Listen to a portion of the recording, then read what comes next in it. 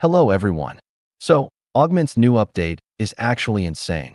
It is now number one on SWE Bench and now the best open source AI coding agent to ever exist.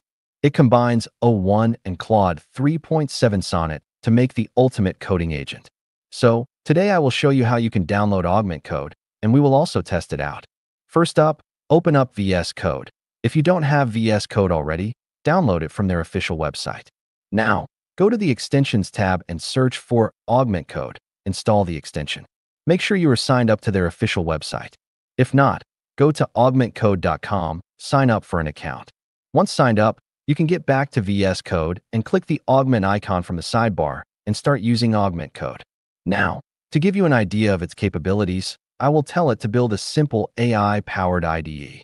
Let's see what we get.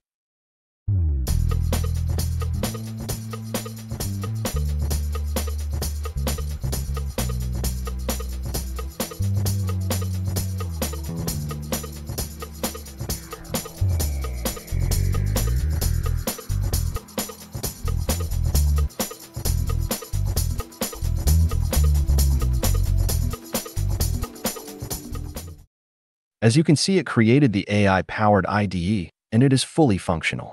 You can run code, chat with AI and stuff. So that will be it for the video. Make sure to like and subscribe. I will see you in the next one. For now, bye.